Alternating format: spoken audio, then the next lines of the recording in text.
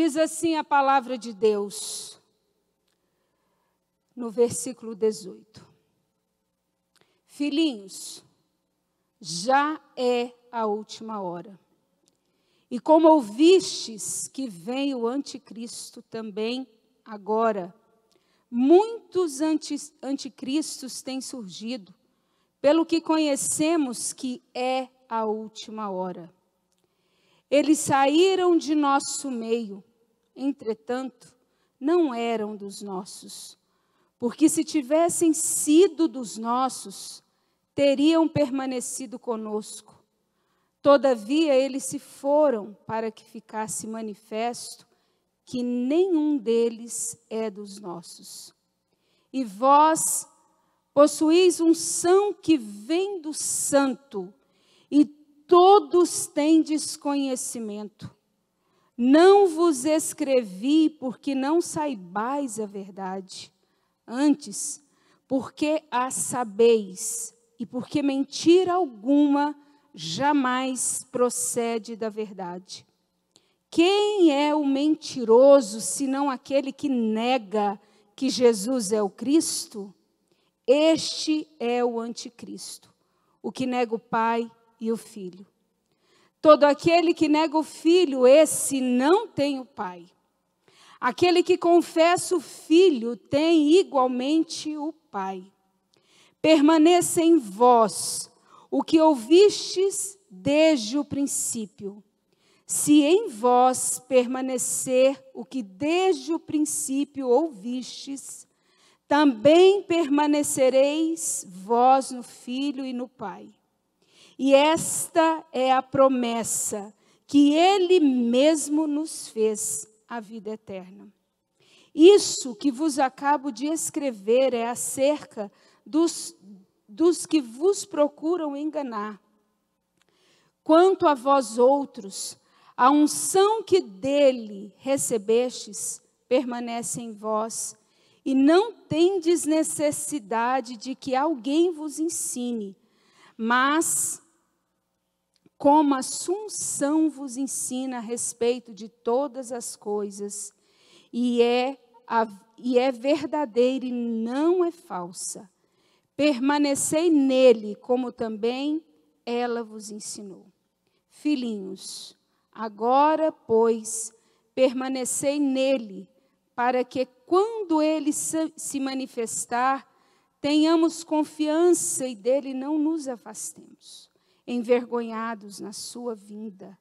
Se sabeis que ele é justo, reconhecei também que todo aquele que pratica justiça é nascido dele.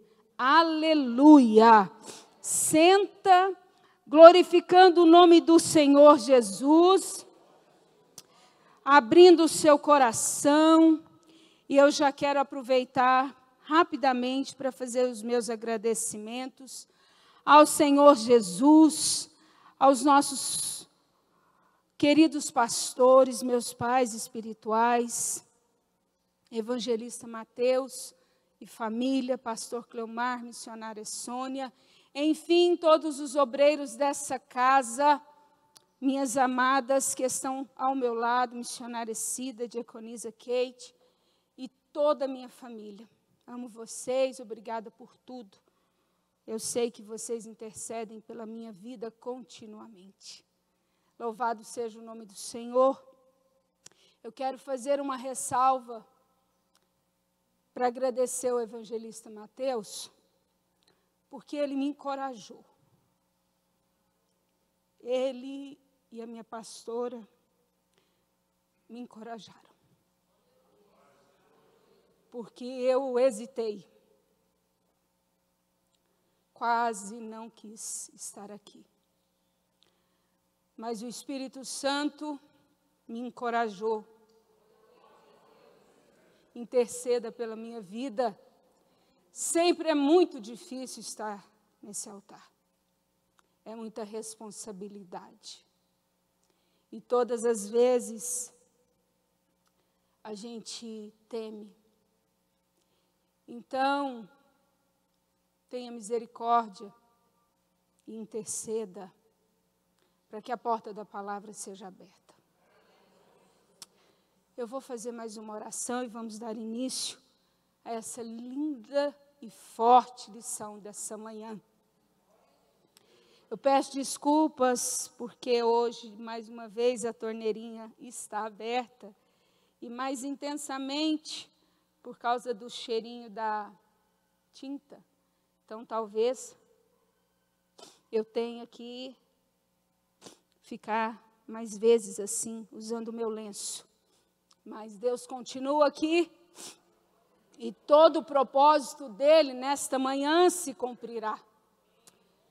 Jesus querido, oh meu amigo Espírito Santo, eu quero te agradecer por essa manhã linda que o Senhor preparou para nós, porque nada nos impediu de estarmos aqui na tua casa. E eu te glorifico. Eu te glorifico porque o Senhor não me deu espírito de medo. Mas o Senhor me deu ousadia nessa manhã para subir aqui nesse altar. Mas eu quero reconhecer a minha pequenez, reconhecer o quanto eu preciso de Ti, Espírito Santo. Porque eu sei, Paizinho querido, que só Tu tens as palavras de vida eterna. E eu peço a sua ação agora, Espírito de Deus. Toma mesmo a minha mente, o meu coração, a minha boca.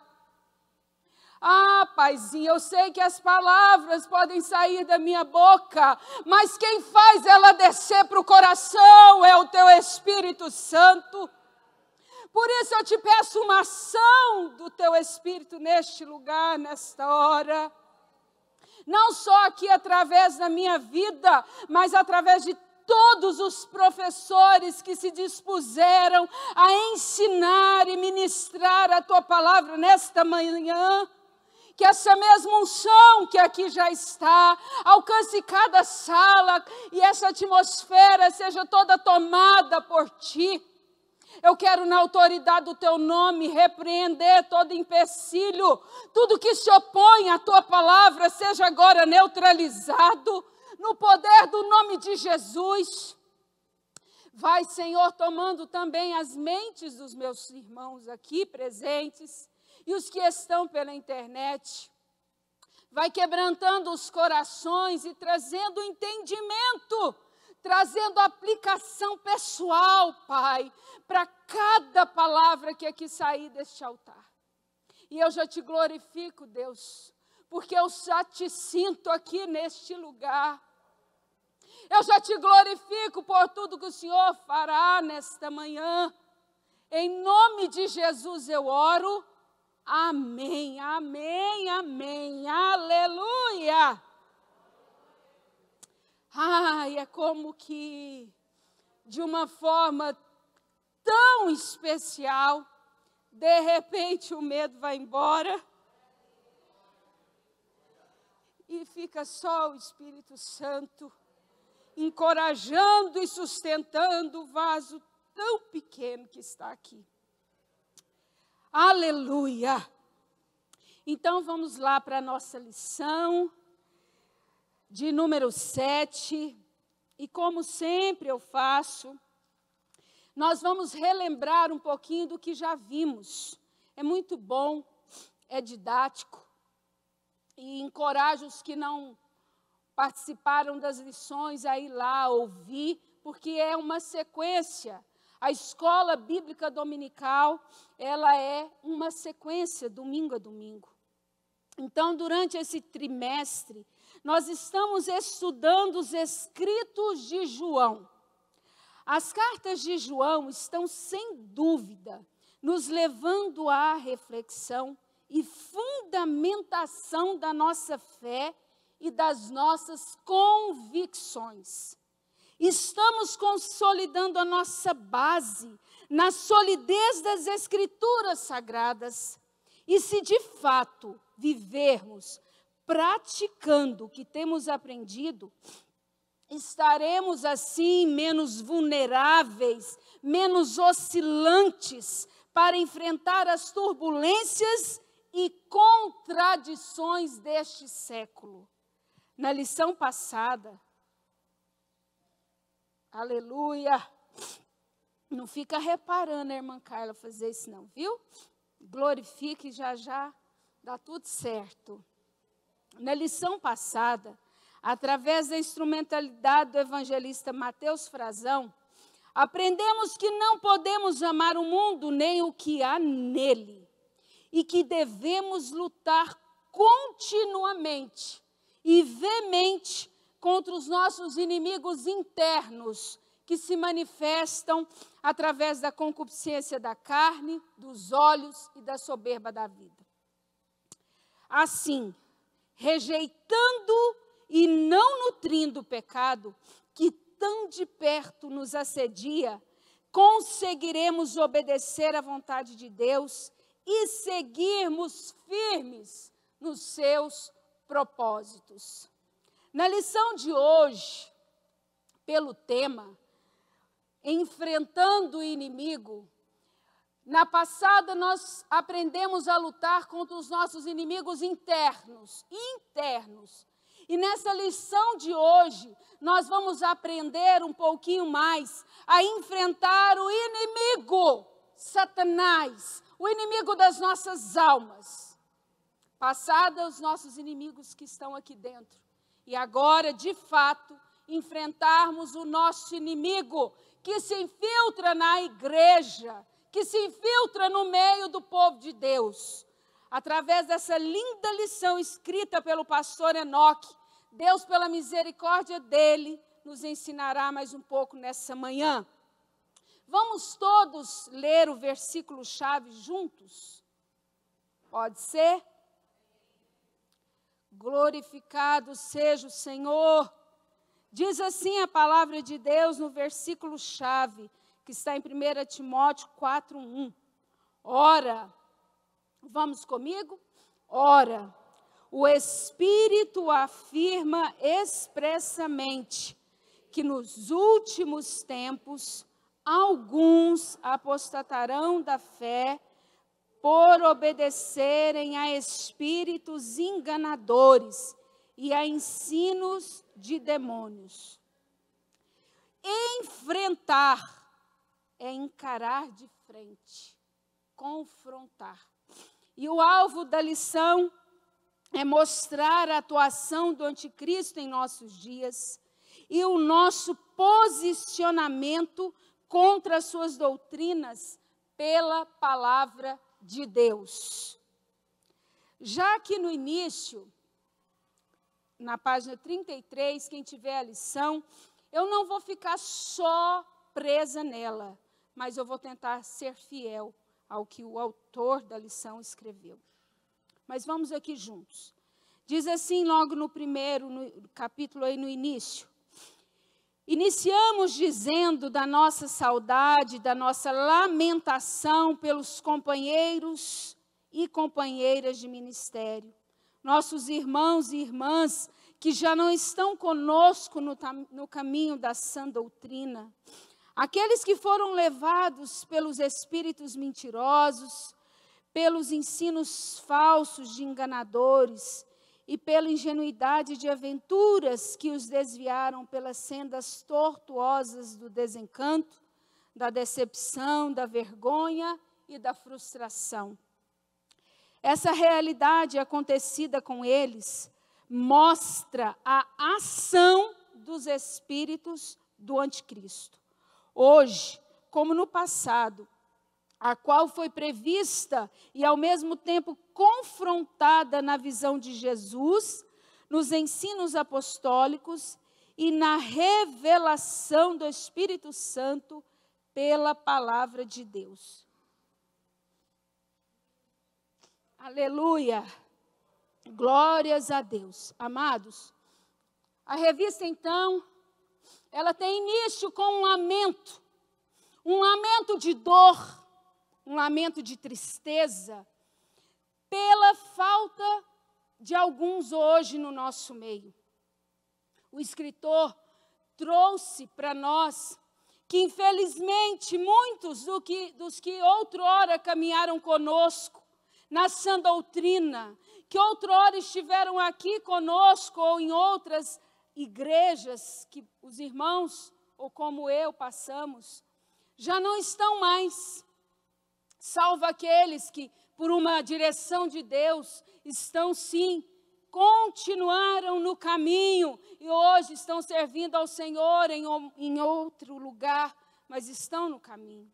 Mas infelizmente, no meio desses que saíram firmados, com uma boa base, também estão aqueles que se desviaram, que estão perdidos no mundo, ou que estão em um lugar que infelizmente não se ensina a sã doutrina que eu e você possamos ter misericórdia, lembrar deles em oração, pedir a Deus que tenha misericórdia e os traga de novo para a casa do Pai.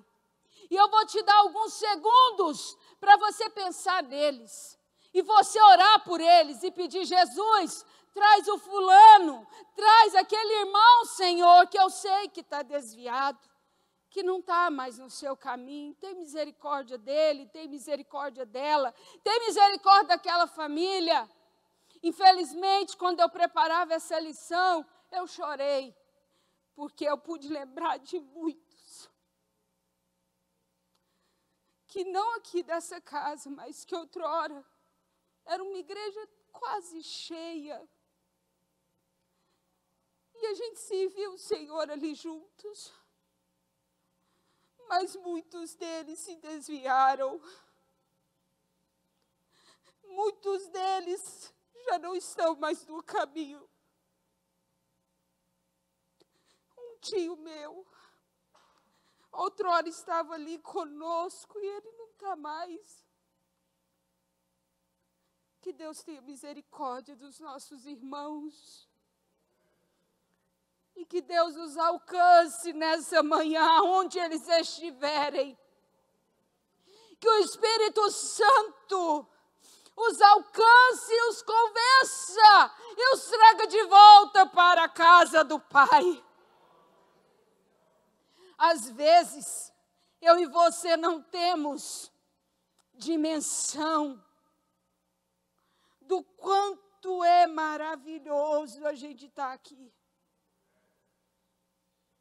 Às vezes a gente lê aquele salmo, alegrei-me quando me disseram, vamos à casa do Senhor. Mas quantas vezes eu e você entramos com o coração triste, com o coração pesado, pensando, quem vai pregar nessa manhã, Jesus? O pastor não está aqui. Ah, meu irmão, minha irmã, que Deus tenha misericórdia de mim, que Deus tenha misericórdia de você e que possamos sim verdadeiramente nos alegrar quando estamos nos arrumando para vir à casa do Senhor. Sabe quando a gente valoriza? Quando a gente está dentro de um UTI. A gente valoriza quando a gente está com um ente querido ali num leite de hospital, ou mesmo você, e você olha o culto pela internet e tu deseja estar aqui, mas hoje tu pôde estar. Eu pude estar. Isso é sinal que nós não nos perdemos. Isso é sinal que estamos no caminho e que Deus me ama tanto, Deus te ama tanto, que Ele está falando conosco nessa manhã. Desperta, igreja do Senhor. Nós continuamos tendo que ser sal e luz. E quando os nossos irmãos que estão afastados nos veem, é preciso que eles desejem estar na casa do Pai de novo. Aleluia, Espírito Santo. Tu tens liberdade de falar, porque a casa aqui é tua, Jesus. E o povo que aqui está é teu. Ah, Senhor, pode tomar minha boca sim. O Senhor tem liberdade e acesso à minha vida. Em nome de Jesus. Aleluia. Aleluia. Vamos aqui já para o tópico 1, quando diz assim: como reconhecer o anticristo. O que é reconhecer, meus irmãos? Reconhecer, o sinônimo desta palavra é identificar, é distinguir, diferenciar e discernir. Então, na verdade, eu e você precisamos ter a habilidade dada por Deus para identificarmos, distinguirmos, ou seja, diferenciarmos o que é de Deus e o que não é. E eu vou, eu fiz um resumo aqui desse tópico. Vamos juntos que eu vou já lendo e explicando. Não adianta, né, gente? Está na minha formação. Essa é a forma que o Senhor me usa. Se você não gosta, que Deus tenha misericórdia, que mesmo assim você consiga aprender nessa manhã. O povo de Deus, ele tem um opositor, a palavra que o Espírito Santo colocou ao meu coração. Tem um opositor que atua desde o início da igreja do Senhor, desde que o mundo é mundo. Ele é o nosso inimigo. E ele está disposto a nos destruir, lançando suas mentiras e distorções tentando confundir e corromper as mentes dos cristãos. No tempo de João, Paulo, Judas, Pedro, os nossos irmãos corajosos, eles tiveram sim que combater uma doutrina falsa, conhecida como gnosticismo. Esse foi um grande problema para a igreja primitiva e ainda está presente, infelizmente, em muitas seitas nos dias de hoje. Os pregadores dessa heresia gnóstica, sinistra, negavam, olha o que eles negavam, só por aqui você já rejeita. Negavam a criação, a encarnação e ressurreição de Jesus. Sendo assim, eles não acreditavam que Jesus havia vindo em carne e também negavam a sua ressurreição. Eles não criam na redenção operada por Cristo Jesus, pois essa não pode acontecer sem sua morte e ressurreição. Sem dúvida, são mentiras, são deturpações sem nenhuma base bíblica. Seus ensinos, eles são opostos ao cristianismo e misturam o sincretismo religioso com filosofias humanas. O que eles faziam? Eles pegavam alguns fragmentos da Bíblia, misturavam tudo e ensinavam para o povo. Eles acreditavam que Jesus, homem, eles não acreditavam na divindade. Eles acreditavam em Jesus, homem, que quando ele foi batizado, ele recebeu um anjo. E quando ele morreu, esse anjo deixou ele. E ele teve o azar de morrer. Eles acreditam em tudo que nós não acreditamos. Reencarnação, mistura tudo isso aí e dá o nome dessa seita: gnosticismo. Mais do que entender e saber o que essa seita equivocada pregou naquela época, é preciso entender que ela é antibíblica. O que é antibíblico, irmã Carla? É tudo que se opõe à Bíblia. Tudo que não está escrito aqui, rejeita. O próprio apóstolo Paulo falou isso. Ó, se até um anjo vir e pregar alguma coisa que eu vos tenho pregado, ó, seja anátema, ou seja, rejeite. Eu e você, eu estou aqui há cinco anos e meio.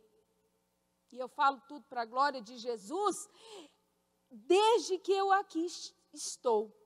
Eu nunca ouvi sair deste altar algo que não estivesse aqui na palavra tanto da boca do pastor como de todos os que são usados aqui nesse altar. Eu nunca ouvi, mas infelizmente não é assim em toda igreja. Infelizmente não é assim pela internet, como bem disse o nosso co-pastor Mateus no estudo de terça-feira, para nós termos muito cuidado para não perdermos a nossa identidade quando a gente fica assistindo, ouvindo diversas pregações. Pode fazer isso, irmã Carla? Claro. Mas na dúvida, pergunta para o pastor ou para outra pessoa que tu sabe que é sério, idôneo. O fulano é bom, eu posso ouvir as pregações dele? Eu posso ouvir as pregações? Você acha que é legal, que me edifica? Por quê? Porque é muito perigoso. E eles são assim, é, os anticristos dessa época, eles são sutis, eles são muito inteligentes. A gente admira o jeito de falar, o jeito de andar, eles se infiltram no meio do povo de Deus. E aí, quando eu e você, nessa época de hoje, temos acesso livre à internet, pode ser que você, às vezes, busque um alimento que não está tão puro. Sabe? Quando a gente, às vezes, come num restaurante que a comida não foi tão bem preparada como na nossa casa. Olha o que, que Deus está falando para mim. Aqui é preparado na nossa casa, a gente casca o alinho, amassa com sal. A gente não põe salito para a barriga encher logo. A gente não põe temperos fortes. Não. A gente prepara, às vezes é um arrozinho com ovinho, com a carninha, um feijãozinho já está tão bom, porque é alimento de casa. Então ele foi preparado, Wesley chega e ele sabe que quem preparou a comida foi eu. E ele come, agradece, elogia. É bom. Da mesma forma é aqui. Nós sabemos de que forma a comida tem sido preparada. É com o joelho no chão, com boca no pó, nos jejuns, nas orações, pagando um preço altíssimo que eu e você muitas vezes não vamos compreender. E os que vêm também, eu garanto para vocês que o preço também é alto. E aí, às vezes, a gente não valoriza a comida de casa. Aí a gente fica fascinado pela comida do restaurante da esquina. Uh, a gente fica fascinado por aquele outro lugar que é tão, tão bonito, tão bom. E às vezes a gente fica com vontade de comer a comida de lá. Mas a gente, às vezes que come, pode ser que seja indigesto, faz mal. Às vezes tu vai ficar lembrando daquela comida. Às vezes vai parar num hospital como Paulo Isaac, 17 dias, com uma salsicha que ele comeu. Cuidado. Cuidado com o alimento. Uma vez eu ouvi o presbítero Laércio falar algo, e muito tempo atrás, e eu fiquei assim, na altura, eu falei, ah, não precisa ser radical assim.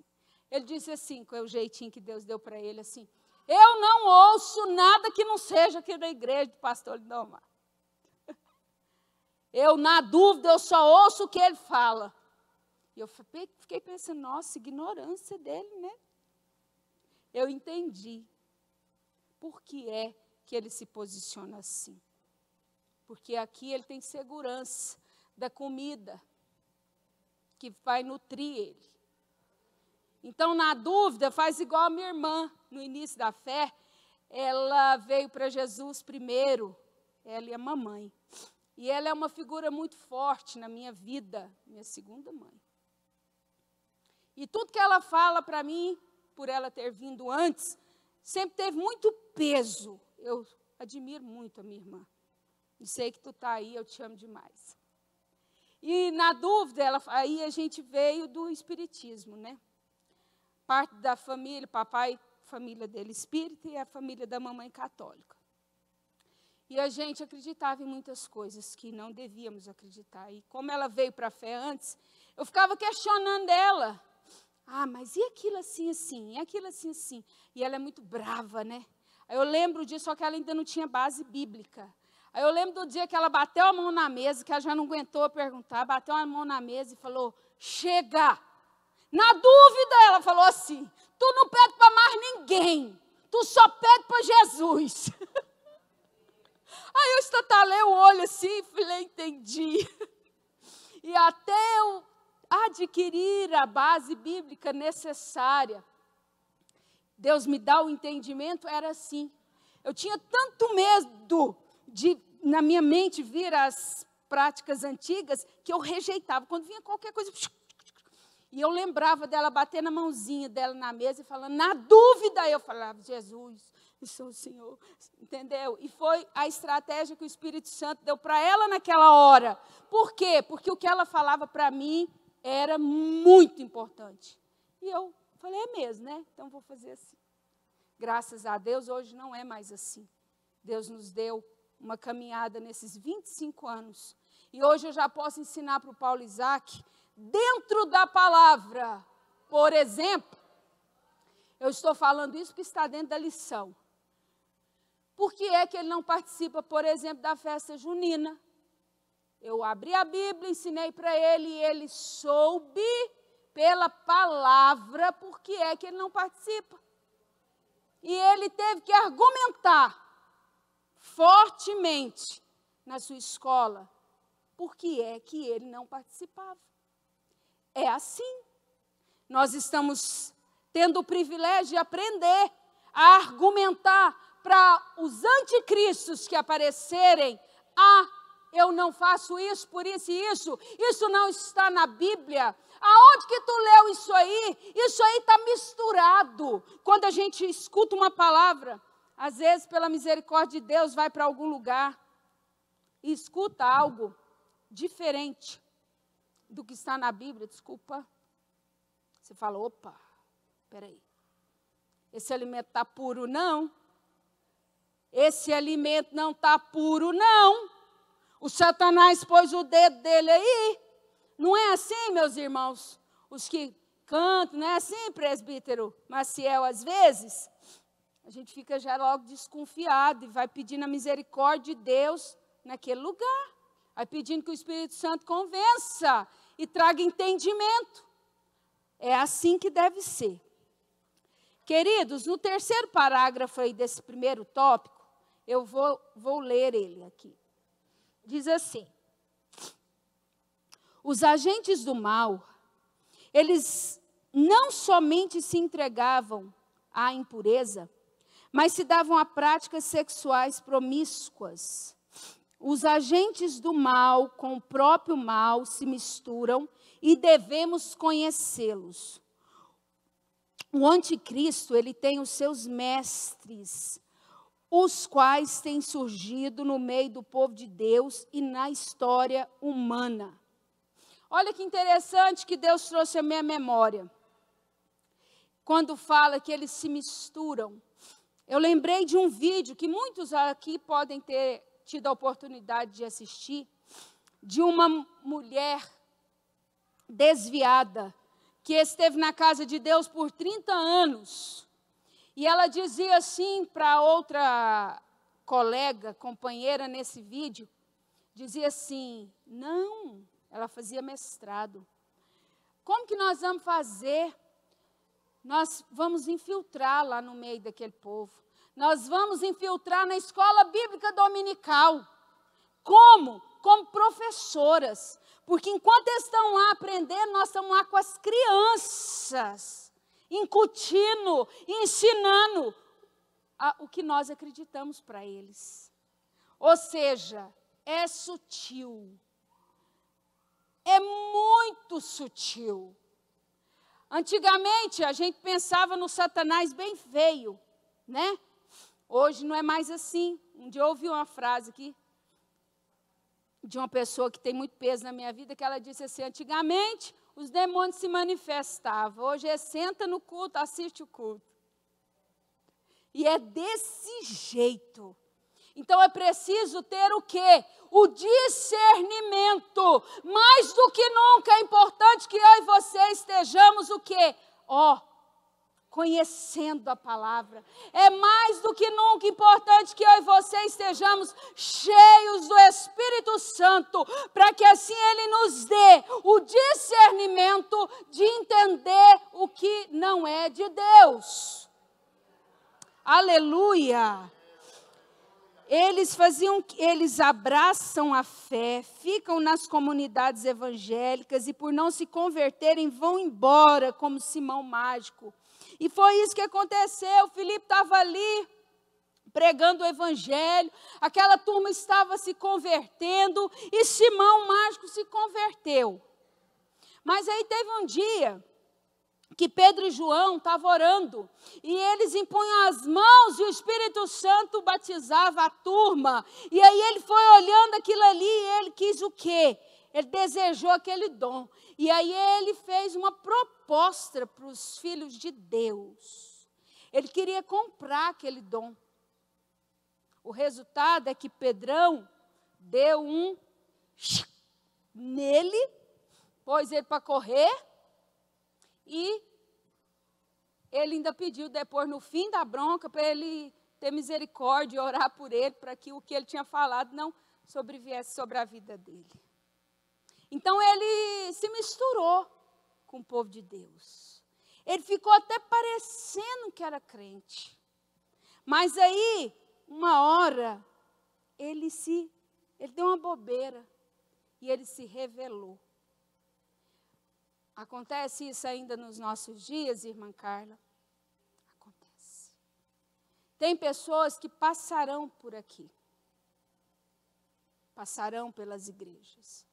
Mas o objetivo dessa pessoa era só causar divisão. Era só pôr fermento na massa para levedar. Era só o que? Jogar os dardos inflamados do mal. Esses que Jeová sopre mesmo. Mas não está ninguém aqui. Só lá na outra igreja. Que não. Aqui nós estamos porque servimos a Jesus de verdade. Aqui nós estamos porque nós temos fome e sede da justiça. Vamos juntos comigo? Até aqui está dando para entender? Estou me fazendo clara? Estou. Como então, no tópico 2, enfrentar o anticristo, o perseguidor que combate Cristo e os cristãos? Como? Então, primeiro nós entendemos que é preciso reconhecer. Reconhecemos? Ok.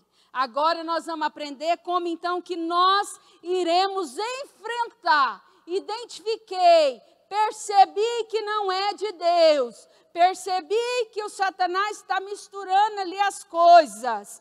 Como então que eu e você iremos enfrentá-lo? Quando o inimigo se apresenta como inimigo, olha aqui que interessante isso. Facilmente o enfrentamos.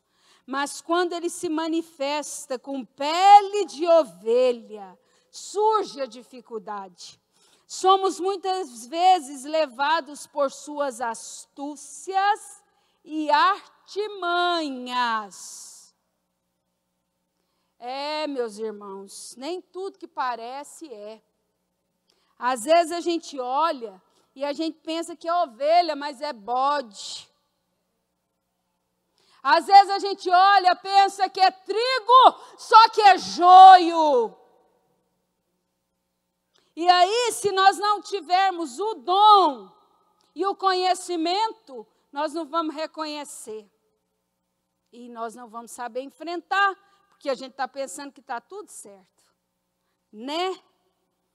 Em 2 Coríntios 11, 13 a 15, lemos: Porque os tais são falsos apóstolos, que nós já estamos falando do povo de Deus falsos apóstolos, obreiro, obreiros fraudulentos, transformando-se em apóstolos de Cristo. E não é de admirar, porque o próprio Satanás se transforma em anjo de luz. Não é muito, pois, que os seus próprios ministros se transformem em ministros de justiça. Nesses versículos, o apóstolo Paulo adverte os irmãos da igreja que a igreja de Corinto contra os falsos mestres que têm a capacidade satânica do engano, da mentira e da astúcia. Meu Deus. Ou seja, no meio da igreja do Senhor, também vão aparecer os falsos apóstolos, falsos mestres. E é interessante que o escritor pôs assim: que tem a capacidade satânica do engano. Meu Deus. Nós fizemos uma visita em um lar ao tempo atrás, eu e meu grupo, e ali um da casa, o que nos recebia, ele é muito inteligente. E ele tem uma inteligência, uma capacidade que a gente via e percebia que não era de Deus argumentos fortíssimos, a ponto de quase não deixar a gente falar. E ele ia falando, ele ia falando, e aí a, a gente percebeu que o Satanás estava usando ele para não deixar a gente semear naquela casa o evangelho. E a gente começou, quando percebemos o grupo, a gente se opôs. Ou seja, quem dá inteligência e astúcia Muitas das vezes, se não for uma pessoa de Deus, essa inteligência está vindo do Satanás. E astúcia, a gente conhece bem quem é que tem, quem é astuto e perigoso. Mas então, irmã Carla, o que que faz? Se o inimigo é tão astuto, tão sutil, como é que eu e você iremos enfrentá-lo? Como? Aqui nós temos alguns passos. No tópico 1 diz assim: com a unção e o poder do Espírito Santo. Se o inimigo é um ser espiritual, só podemos vencê-lo com armas espirituais. O Espírito Santo é quem nos dá o discernimento e o conhecimento para não sermos enganados pelas heresias dos falsos profetas. Lá em Atos 16, 16, se você quiser, abra aí que eu vou fazer essa leitura. Atos 16, 16. Eu encontrei algo que o Espírito Santo falou quando eu estudava. É, aqui, Atos 16, 16. Aleluia, Jesus. Aqui fala da cura de uma jovem adivinhadora.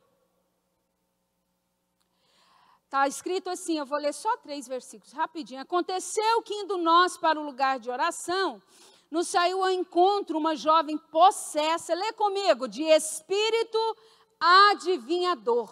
Espírito adivinhador, a qual adivinhando dava grande lucro aos seus senhores.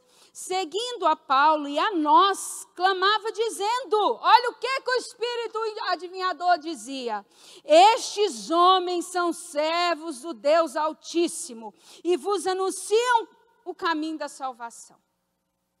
Aí lá no 18 está assim: isso se repetia por muitos dias. Então Paulo, já indignado, voltando-se, disse ao Espírito: em nome de Jesus Cristo, eu te mando, retira-te dela. E ele, na mesma hora, saiu. Meu Deus, tem unção, nós vamos conseguir discernir não tem a unção, não tem o Espírito Santo, nós seremos enganados. Provavelmente, eu fiquei pensando eu, se eu estivesse passando e todo dia alguém falasse isso aqui para mim, Nossa, ali vai a serva do Deus Altíssimo. E ela anuncia o caminho da salvação. Eu ia achar bom. Eu falei, ah, é de Deus. Mas o apóstolo Paulo, cheio, não pode estar na metade, não, meus irmãos. Não pode estar só com um pouquinho, não. Ele estava cheio do poder do Espírito Santo. E ele deixou aquilo ali alguns dias. Eu penso que para estar escrito isso aqui, que é para eu e você lermos e aprendermos que nem tudo que é, tudo que parece ser, é de Deus.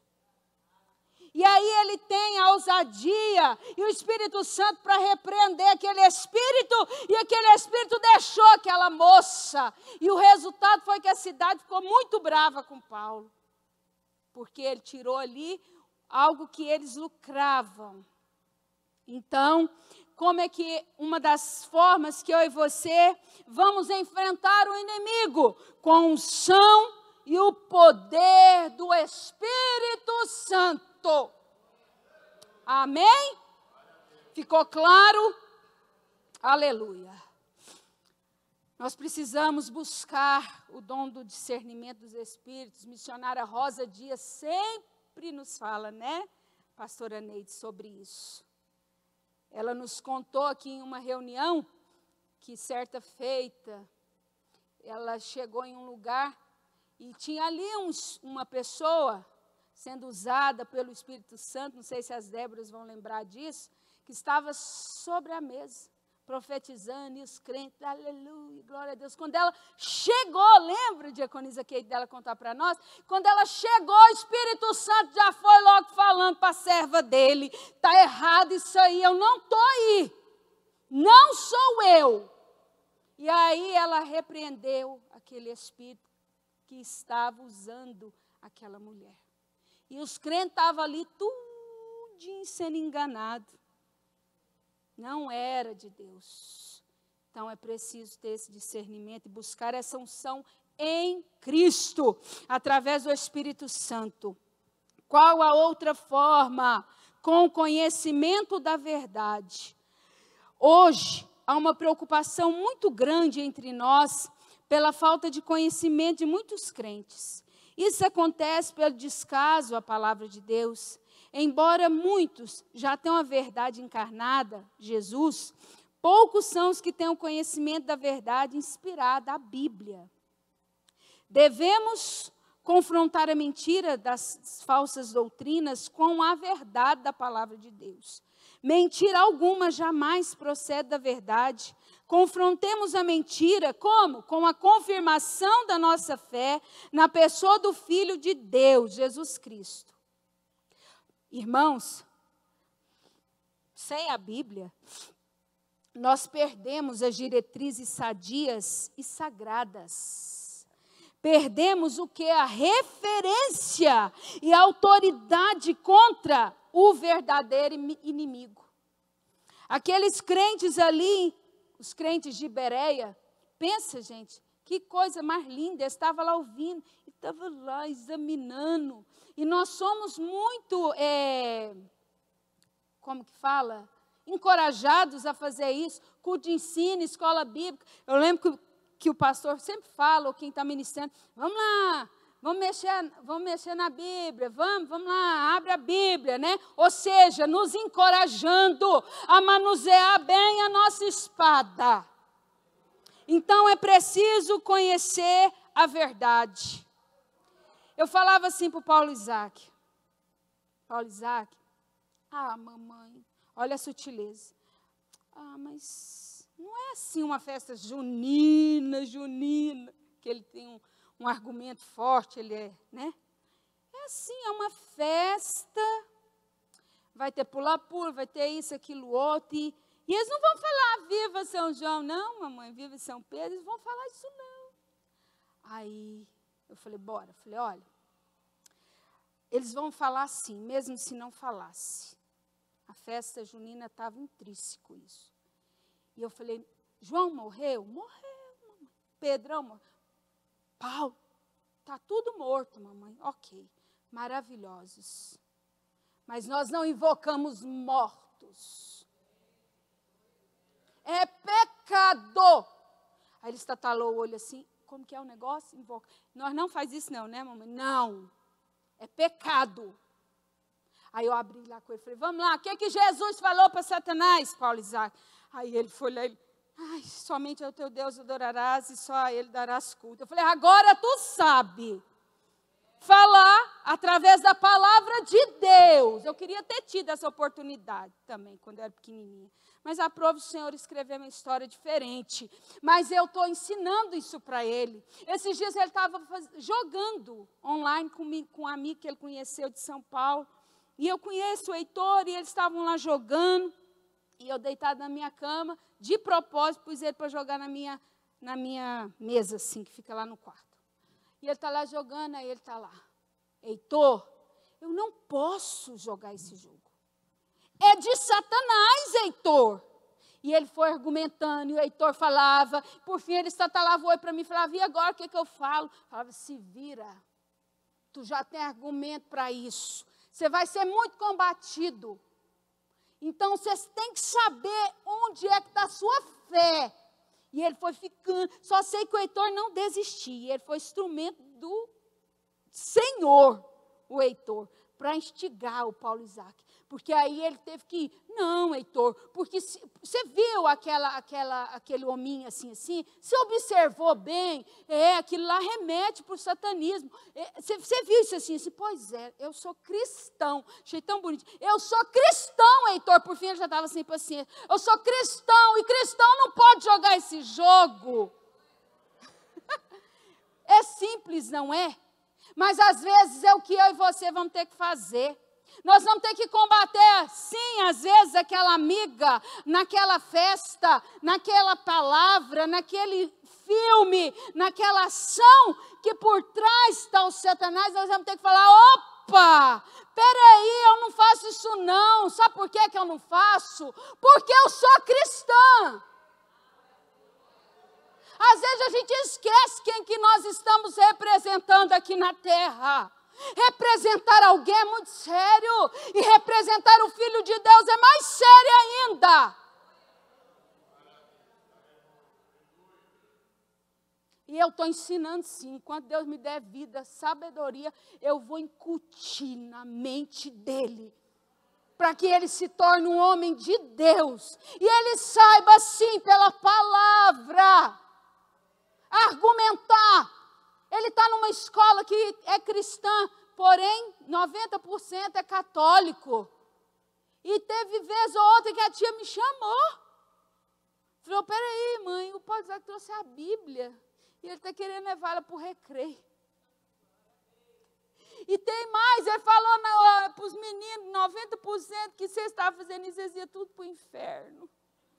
Aí eu, aí eu falei, meu filho, menos menos. Não fale isso não, meu filho, pelo amor de Deus. Posição, amados. Nós não vamos falar para ninguém que eles vão para o inferno assim, não. Nós fala com jeitinho. Nós falamos com amor. Nós falamos usando a palavra. Nós falamos cheios do Espírito Santo, porque é o Espírito Santo que convence. Eu e você somos o canal, mas quem vai fazer, o, trazer o convencimento é o Espírito de Deus. Aleluia. A base maior da fé cristã é a pessoa de Jesus Cristo o Messias, sofredor, triunfante e glorioso, o qual veio em carne, morreu pelos nossos pecados, ressuscitou e ao terceiro dia, ao terceiro dia hoje está à direita da majestade nas alturas. A confirmação dessa verdade em nosso viver é uma das armas para enfrentar o inimigo. Isso aqui é a base do cristianismo. Nós devemos ter essa base em nós, para que possam ver esse Jesus. E nós, como cristãos autênticos, verdadeiros, porque tem os falsos, Tem. Mas aqui no povo da Formosa só tem cristão verdadeiro. Em nome de Jesus, os que não são se tornarão. Amém? Aleluia! Eu não tenho, como sempre, noção do tempo. Quanto tempo eu ainda tenho? Dez minutos? Espírito Santo, Senhor, me ajuda aqui em dez minutos terminar essa lição. Lá no tópico 3 diz assim: Como se manter no caminho certo? Olha aí, então nós entendemos que como reconhecer o anticristo, como enfrentá-lo e por fim agora como nos manter no caminho certo. A falta de fibra e coragem para perseverar e caminhar na doutrina que ouviram é a razão maior do desvio de muitos. Outros foram levados pelo fascínio do misticismo, das experiências e visões, muitas delas enganosas e fraudulentas. Ainda, outros seguiram as veredas das aventuras humanas, motivados pelo seu próprio egoísmo e interesses materiais. Ou seja, aqui está dizendo que muitos, os motivos pelos quais muitos saíram do caminho. Vimos aqui que, às vezes, o fascínio do misticismo os levou, as experiências, as visões. Ah, lá tem mais revelação, lá tem isso, tem aquilo. Às vezes, o seu próprio egoísmo, às vezes, uma promoção, não sei às vezes interesses materiais. Eu não sei o que levou muitos dos nossos, que não eram nossos, de estarem aqui. O fato é que para eu e você nos mantermos no caminho, às vezes é mais simples do que a gente pensa. Às vezes, se eu e você simplesmente levarmos a nossa vida vivendo verdadeiramente a palavra. Mancarla, se eu não aprender mais nada, eu posso daqui para frente te garantir, eu não aprender mais nada daqui para frente. Eu posso te garantir que com o alimento que nós temos até aqui, adquirimos, nós conseguiríamos viver ainda assim no caminho certo. Ou seja, papai já nos deu nutrição suficiente para nos manter no caminho. O que é preciso então? É preciso viver e obedecer o que eu e você aprendemos. Deixemos que a verdade divina ela permaneça em nós. O evangelho, irmãos, puro, genuíno e simples esse, se tiver de verdade dentro de nós, ele vai ser a base, o alicerce, que vai nos sustentar até o dia que Jesus voltar. Ele vai nos sustentar. Basta que às vezes a gente faça do jeitinho que a maninha falou para mim um dia. Bata a mão na mesa e fala: Não, eu não sei isso, isso, isso não, mas eu sei que Jesus é o caminho, é a verdade, é a vida, eu vou seguir nesse caminho. Às vezes, vai precisar que você se, se posicione na simplicidade básica do Evangelho. E aí, login, nossa carreira que nos está proposta, ela vai acabar. Ela chegará ao fim. E aí, como eu e você cumprimos ela. Mãe Carla, tem uns deslizes aí, ok. Jesus, se você se arrependeu, deixou e segue com Cristo, está tudo certo. É preciso resgatar as verdades bíblicas dentro de nós. Às vezes vai ter que fazer simplesinho, como eu estou fazendo com Paulo Isaac. Para não dar muita informação. Ele é uma criança de oito anos. Para não encher a mente dele com tanta coisa. Eu incuto as verdades básicas. Porque se Jesus me chamar, minha carreira acabar, o básico eu consegui incutir nele. E eu e você, como estamos? Como estamos para permanecer em Cristo? É preciso verdadeiramente viver o que temos aprendido nesta casa. Nós seremos julgados pela palavra. E eu já falei outras vezes que aquele irmão que está ali, às vezes, numa igreja, que o ensino é raso, básico, ah, o julgamento dele vai ser menos severo do que o julgamento do povo da Regional Formosa. Porque aqui a gente é bem nutrido.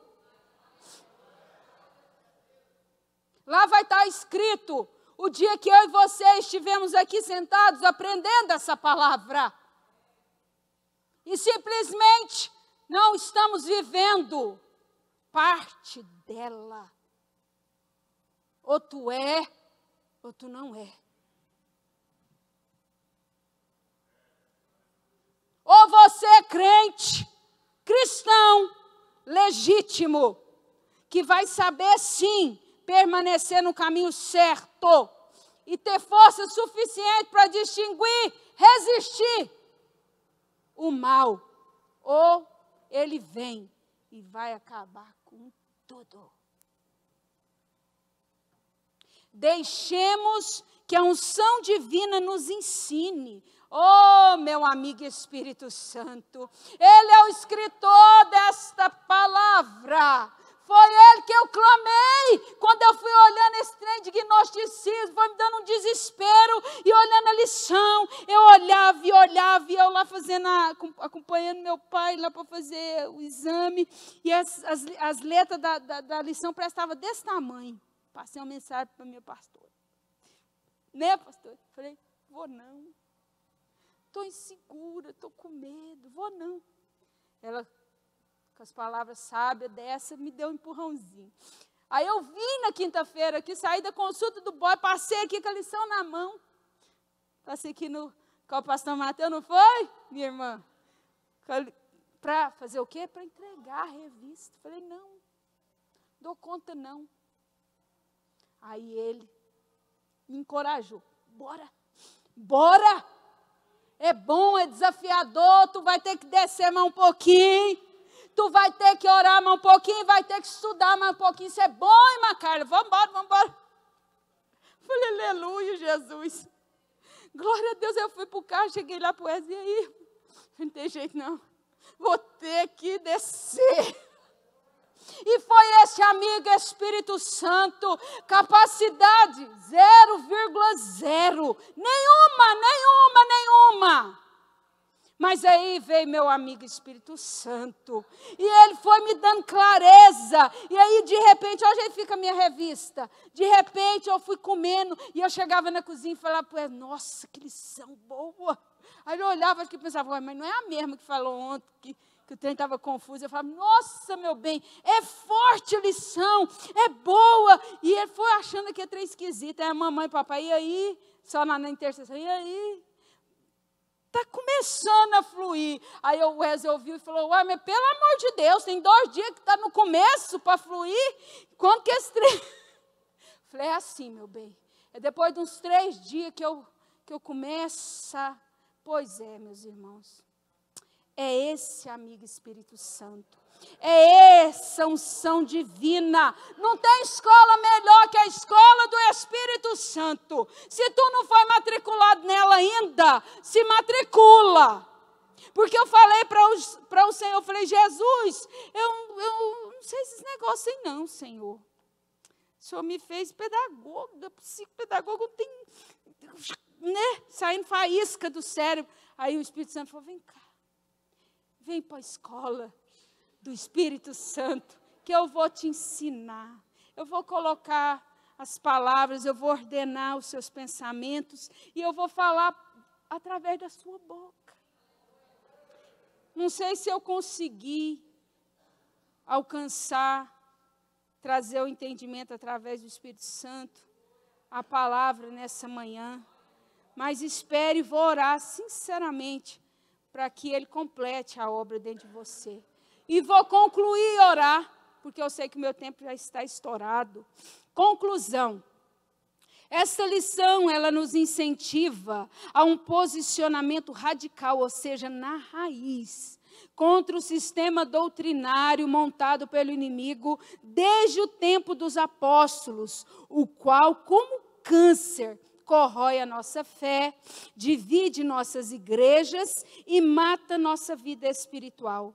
Todavia, devemos amar aqueles que têm sido levados pelas ondas dos movimentos provocadores das falsas doutrinas e orar por sua volta à simplicidade de Cristo, como dissemos na introdução desta lição.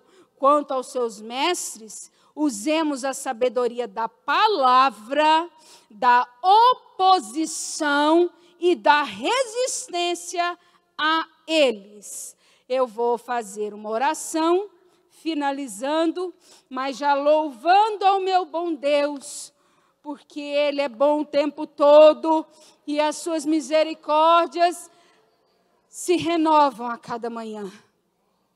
Deus poderoso e fiel, meu amigo Espírito Santo, eu quero te louvar e te agradecer pela tua palavra dessa manhã.